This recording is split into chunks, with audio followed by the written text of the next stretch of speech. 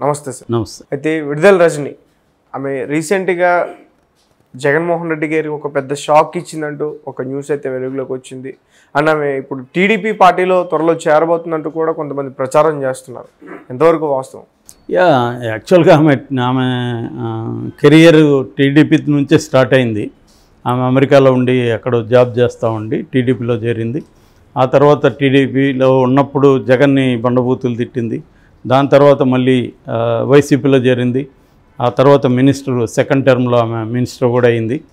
So ఈ క్రమంలో ఆమె చిలకలూరుపేట నుంచి పోటీ చేసి గెలిచింది. అయితే ఆమె ఒక రకమైన సెలబ్రిటీ స్టేటస్ మెయింటైన్ చేస్తుంది. సోషల్ మీడియాలో యాక్టివ్గా ఉంటుంది. ఆమెకు ఒక పెద్ద అనుచర గణం ఉంటారు.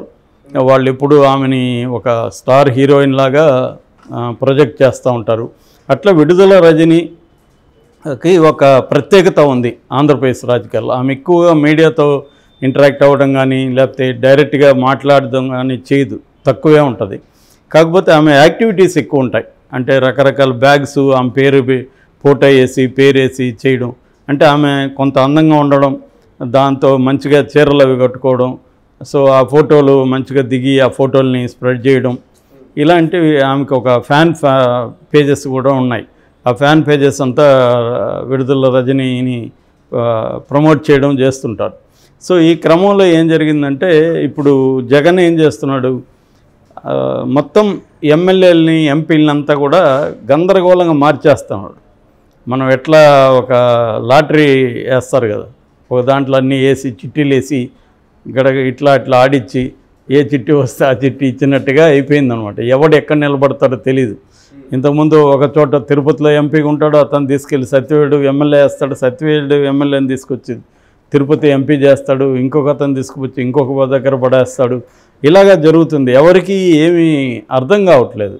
గందరగోళం మేబీ జగన్కి క్లారిటీ ఉండొచ్చు. జగన్ ఏంటంటే నాలుగు రకాల సర్వేలు చేశారని చెప్తున్నారు. ఒకటేమో ఐపాక్ టీం రిషిరాజ్ ఇంతకుముందు మన ప్రశాంత్ కిషోర్తో కలిసి పనిచేశాడు ఐపాక్లో. అతను సపరేట్ కుంపటి పెట్టుకున్నాడు. సో షాపు ఓపెన్ చేసుకున్నాడు. అతను వచ్చి ఇప్పుడు జగన్కి పనిచేస్తున్నాడు రిషిరాజ్. ఇటువైపు ఏమో మన రాబిన్ శర్మ చంద్రబాబుకి. సో ఆ రిషిరాజ్ టీం ఒకటి సర్వే చేసింది. తర్వాత చెవిరెడ్డి భాస్కర్ రెడ్డి చంద్రగిరి ఎమ్మెల్యే. ఆయన ఒక టీంని ఫామ్ చేసుకొని ఆయన సర్వేలు చేస్తున్నాడు. ఇక్కడ కూడా తెలంగాణ ఎన్నికలప్పుడు కూడా ఆయన సర్వే చేశాడు. సో అదొక రెండో సర్వే. మూడోది స్టేట్ ఇంటెలిజెన్స్ ఆఫీసర్లతో కొంతమందితో కూడా జగన్ చేయించాడు. అందులో తన అడ్వైజర్లు కొంతమంది ఇంటెలిజెన్స్ వీళ్ళ టీం ఒకటి వెళ్ళి సర్వే చేసింది. నాలుగవది నేషనల్ మీడియా ఇండియా టుడే లాంటి నేషనల్ మీడియా. రెండోది నేషనల్ లెవెల్లో ఇటువంటి సర్వేల్లో ఎక్స్పర్ట్లైన కొంతమందిని పిలిపించి వాళ్ళ దగ్గర సర్వే చేయించాడు. ఇట్లా నాలుగు రకాల సర్వే చేయించినాక అతను మూడు రకాల ప్రాతిపదికల్ని తీసుకున్నాడు. ఒకటి సోషల్ ఇంజనీరింగ్. సోషల్ ఇంజనీరింగ్ అంటే కులాల సమీకరణాలు. అంటే ఫర్ ఎగ్జాంపుల్ జనసేన బలం ఒక దగ్గర బలంగా ఉంది టీడీపీ ఉంది. సో జనసేన బలం టీడీపీ బలం కలిస్తే అక్కడ విన్నింగ్ అవకాశాలు ఆ కూటమికి ఎక్కువ ఉంటాయి. అలాంటప్పుడు అక్కడ ఒక బీసీని తీసుకొచ్చి పెట్టడం. అప్పుడు ఏమవుతుందంటే అక్కడ ఉన్న బీసీలు అందరూ పోలరైజ్ అయితే ఈ కూటమిని ఓడించవచ్చు ఎందుకంటే బీసీల పాపులేషన్ అక్కడ ఎక్కువ ఉంటుంది.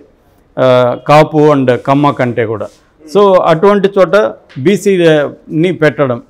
ఆ బీసీ బీసీలో కూడా మళ్ళీ ఆ బోయనా లేకపోతే కురబనా లేకపోతే ఇంకా వేరే ఏ కులాలు ఉన్నాయి బీసీలో ఎన్ని ఓట్లు ఉన్నాయి? చూసుకొని అక్కడ పెట్టడం. దీన్ని సోషల్ ఇంజనీరింగ్ అని పిలుస్తున్నారు. రెండవది పొలిటికల్ ఇంజనీరింగ్. అంటే ఒక చోట తెలుగుదేశంలో నుంచి ఒక కమ్మ ఇండస్ట్రియలిస్ట్ పోటీ చేస్తున్నాడు. ఫర్ ఎగ్జాంపుల్ విజయవాడ ఎంపీ ఎంపీగా కేసినేని చిన్ని పోటీ చేస్త శివనాథ్ ఆయన పేరు చిన్ని అంటారు. చిన్ని పోటీ చేస్తున్నాడు. ఆయన వంద కోట్లు వంద యాభై కోట్లు ఖర్చు పెట్టగలడు. కాబట్టి ఆయనకు పోటీగా అలాంటి వాళ్ళనే పెట్టాలి. సో కేసినేని నానేని తీసుకున్నాడు. నాని అయితే ఆయనకి ఈక్వల్గా పెట్టగలడు. సో ఇలాంటి సమీకరణాలు దీన్ని పొలిటికల్ ఇంజనీరింగ్ అంటున్నారు. మూడవది అక్కడున్న లోకల్ క్యాండిడేట్ మీద వ్యతిరేకత. అది ఎప్పటి నుంచో జగన్ చెప్తున్నాడు. One one and half year నుంచి సర్వేల్లో ఆయన ఎమ్మెల్యేలను పిలిచి ఇట్లా మీ పట్ల వ్యతిరేకత ఉంది. మీరు ప్రజల్లో ఉండట్లేదు. ప్రజల సమస్యల మీద మీరు పనిచేయట్లేదు. మీరు ప్రజలకు అందుబాటులో ఉండట్లేదు. అని ఆయన గడప గడపకు అనే ప్రోగ్రాం ఎందుకు ఇచ్చాడంటే మీరు ప్రజల దగ్గరికి వెళ్ళండి. వాళ్ళ సమస్యలు ఏంటో అడగండి. మన పథకాలు కరెక్ట్గా చేరుతున్నాయి లేదా కనుక్కోండి. ఎవరైనా డిజర్వ్డ్ ఉండి చేరకపోతే వాళ్ళకి చేరేట్టుగా చేయండి. వాళ్ళు ఏదైనా ఇష్యూస్ ఉంటే పరిష్కరించండి. వాళ్ళకి మీరు అందుబాటులో ఉండండి అనేది ఆయన పదే పదే హెచ్చరించాడు.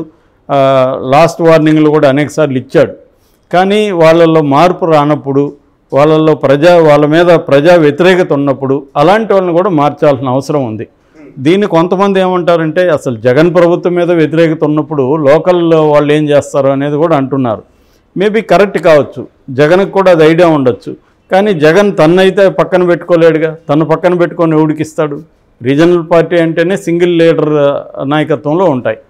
సో ఇప్పుడు చంద్రబాబు అయినా జగన్ అయినా కేసీఆర్ అయినా వీళ్ళందరూ కూడా వాళ్ళ పట్ల వ్యతిరేకత ఉన్నా కూడా వాళ్ళు పక్కకి వెళ్ళ వెళ్ళలేని పరిస్థితి.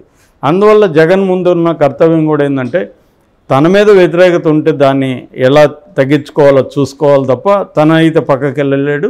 కానీ స్థానికంగా ఎమ్మెల్యేల మీద వ్యతిరేకత ఉంటే అలాంటి వాళ్ళని కూడా మార్చడం. సో ఈ మూడు రకాల ప్రాతిపదికల మీద జగన్ ఏం చేస్తున్నాడంటే రీషఫుల్ చేస్తున్నాడు.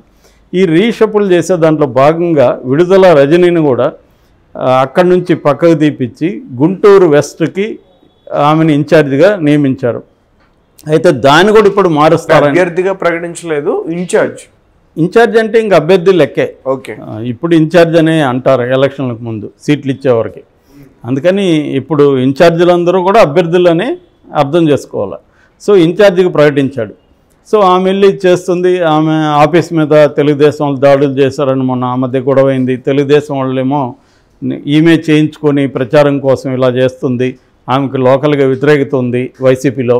అందుకని ఈ డ్రామా ఆడుతుంది అనేది వీళ్ళు చెప్తున్నారు. సరే ఏం జరిగిందని పక్కన పెడితే ఇప్పుడు మళ్ళీ విడుదల రజనీని జగన్ పిలిచి అమ్మ నువ్వు నర్సా నర్సరావుపేట ఎంపీగా కంటెస్ట్ చెయ్యి అని ఆమెను అడిగినాడని చెప్తున్నారు. ఎందుకంటే నర్సరావుపేటలో ఆయన లావు కృష్ణదేవరాయలు. ఆయన ఎంపీగా ఉన్నాడు. ఆయన కమ్మ సామాజిక వర్గం. అక్కడ బీసీ సామాజిక వర్గం వాళ్ళని ఎంపీగా పెట్టాలని జగన్ డిసైడ్ అయ్యాడు.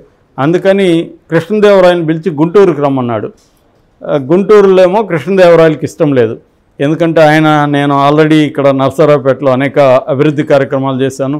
కొన్ని అభివృద్ధి కార్యక్రమాలు అన్ఫినిష్డ్గా ఉన్నాయి. వాటిని కంప్లీట్ చేయాలంటే మళ్ళీ నాకు అక్కడ ఇస్తే నేను వెళ్ళి కంప్లీట్ చేయగలను. నన్ను ఇప్పుడు గుంటూరు మారిస్తే నాకు అంత కొత్తగా ఉంటుంది అక్కడ. కాబట్టి నేను ఇక్కడే చేస్తాను లేకపోతే చేయను అన్నాడు.